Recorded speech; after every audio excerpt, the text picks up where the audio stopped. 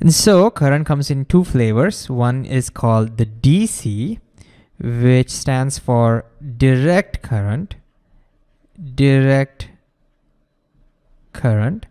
And then the other one is called AC, which stands for alternating current, alternating current. So what's the difference between them? Direct current is a one directional current, meaning you can imagine the current just flows in one direction.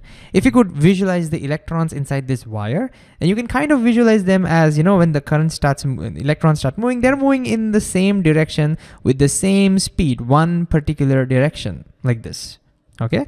And since the current value is the same all the time, we will see that the bulb keeps glowing with the same amount of brightness constantly all the time. One directional current, DC. Your batteries usually provide this kind of current. Okay, what about alternating current?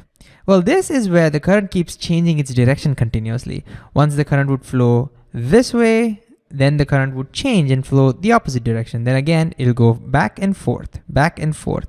Again, if you could visualize the electrons over here, now you would see the current is going, the electrons are going back and forth, back and forth, like this. All right, but why does that make our bulb flicker? Why does that happen? Well, let's look at these electrons a little bit carefully and let's do, do it in slow motion now. As the electrons are going forward, notice when it's about time to change the direction, they first come to a stop and then change the direction. They go back and again, go to a stop and then change the direction, go forward, stop, backward, stop, forward, stop, and so on. Every time the current stops, uh, electron stops, the current goes to zero. And when the current goes to zero, the filament over here cools down a little bit. And when the filament cools down a little bit, the bulb dims a little bit. Why doesn't the bulb completely switch off when the current goes to zero? Well, that's because, you, as you can see, the current comes back up very quickly. So it stops only for a fraction of a second. And so during that fraction, the, the bulb cools down just a little bit and then again heats up, cools down and heats up, cools down and heats up. And that's why we see the bulb flickering like this. And why do you think it flickers 100 times a second? Well, that's because it turns out in India, the current that we get from our main supply uh, changes its direction 100 times a second. So let me just write that down. That seems important. So the current changes direction. Let me just write the current changes direction, changes direction about a hundred times per second. All right. And that means the current goes to zero a hundred times in one second. And therefore, when the current goes to zero, that means our filament will cool down about 100 times a second. And as a result, we'll see the bulb dimming and then coming back up about 100 times a second.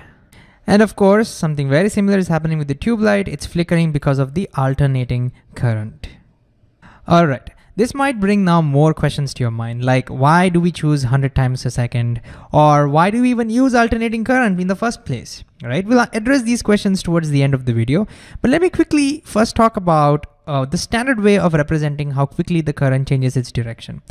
The standard way of doing that is by coming up with a number called frequency. Frequency. What does the frequency represent? It's representing the same thing a little different way. Instead of talking about the number of times the current changes its direction, it talks about the number of times or number of cycles, cycles the current goes through per second. So number of cycles per second. It turns out that there is an advantage of doing it this way because when we you know, look into the mathematics of this, it turns out that this is a very nice number to use in our formulae. So what is the what is the meaning of the word cycle over here? So whenever things are going back and forth, their motion is repeating itself.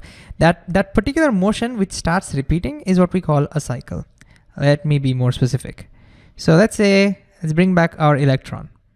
We know the electrons is going back and forth, so it goes forward, then changes the direction, goes back, changes direction again, goes forward, and so on and so forth, right? This is what our electron is doing.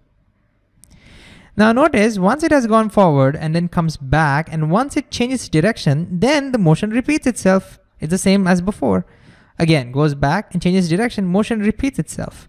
Therefore, since the motion repeats after, after over here, after it has changes direction, we will say this is one cycle. Does that make sense? This is one cycle. So cycle is the portion which starts repeating itself. And after this, again, the next cycle begins. And then once it, the electron comes back and changes its direction, that cycle ends and the next cycle begins. So this is cycle number two, and then this is cycle number three. And the frequency basically represents how many cycles how many cycles is this electron going through every second? Now, here's the question. Given that we know electron changes direction a hundred times in one second, can we figure out how many cycles it is going through in one second? These numbers are related to each other. Can you pause the video and think about this? All right, hopefully you've tried. Since I know the total number of times the electron changes direction in one second, what we can do to figure out the frequency is let's see how many times the electron changes direction in one cycle. Okay, so let's look at the first cycle. Electron is going forward and then whoop, changes its direction over here. So the electron changes direction over here once and then it comes back, comes back, comes back, finishes, no, it finishes its cycle when it changes its direction again. All right, why? Because notice next cycle cannot begin unless you change your direction. So the electron finishes its cycle, the first cycle, after changing its direction again. So it changes direction once, it changes its direction second time. So in one cycle, the electron is changing its direction two times. That's important. Same case with the second cycle as well. Goes forward, forward, forward, whoop, changes direction, goes back, back, back, back, back, changes direction and gets ready for the next cycle. Then goes forward, changes direction, goes back, changes direction. So in one cycle, the electron is changing its direction two times. So let's write that. One cycle, the electron changes direction, changes direction two times. So if the electron changes direction 100 times, how many cycles is it? Well, notice the cycle is half of the number of times it changes direction, right? So if it is, if this is 100, if the electron is changing its direction 100 times, then that means how many cycles must it be? It has to be 100 by 2, 5 cycles, sorry, 50 cycles. 50 cycles. And so in this case, we will say the frequency is 50 cycles per second. Let's write that over here, 50 cycles per second. And cycles per second is also often called hertz, named after the scientist Heinrich Hertz. And so notice if the current is changing its direction or if the current goes to zero 100 times per second, that means the frequency is half of that, 50 hertz. And since this is the standard chosen in India, this is the Indian standard, that means everyone, everywhere in India, we get about 50 hertz frequency of alternating current. This is an Indian standard. In United States, this is this number is about 120 times per second, which means the frequency would be half of that, 60 hertz in the United States. All right, that's pretty much it. Now let's come back to the question, some of the curious questions that you might have before we end the video. One question you might be wondering is, why 100 times a second? Why not any other number? Well, if the number is too low, let's say it was like two or three times per second, then the flickering would be very obvious to us right? And in that case, it will be very inconvenient. So it can't be too low. And turns out if you make it very high, then there are some other problems that start coming. And that's why it needs to be high enough, but not too high. And that's why it's about 100 in India or about 120 in, in the United States. Another question, like, you know, last question we will tackle is you may be wondering why even go for alternating current in the first place? Why can't we just go with direct current? What's the problem with that? That's an actually very interesting question because it turns out it's got something to do with efficiency of power transfer.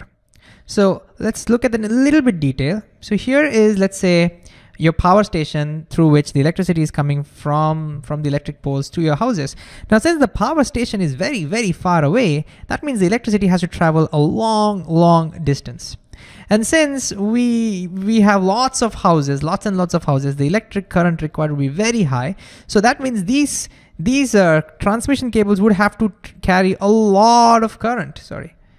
They'll have to carry a lot of current.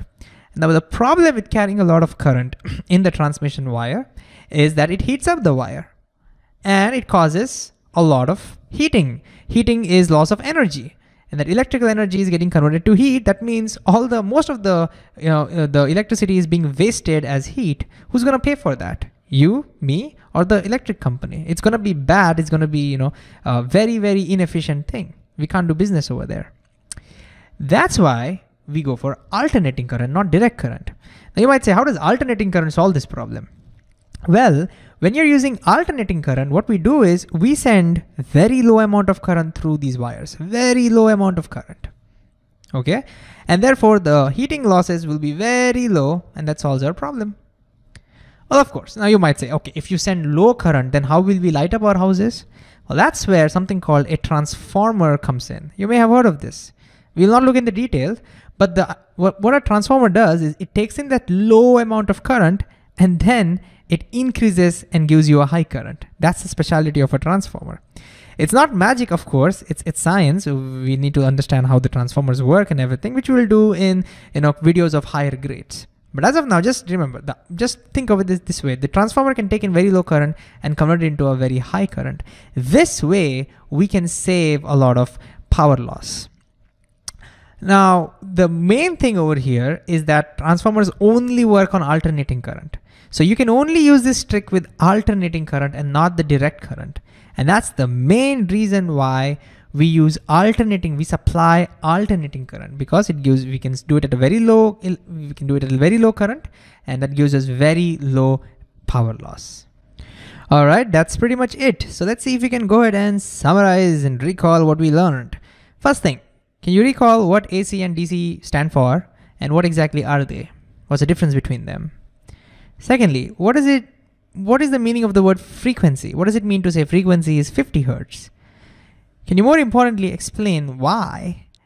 If frequency is 50 hertz, that means that the current is changing its direction 100 times per second. Okay, try to explain this, say, to your friend or to someone in your family. It's a super important concept over here. Finally, can you now explain why we go for AC when it comes to power transmission to all our houses and not DC? If you have difficulties answering these questions, no worries, feel free to go back and rewatch that part of the video.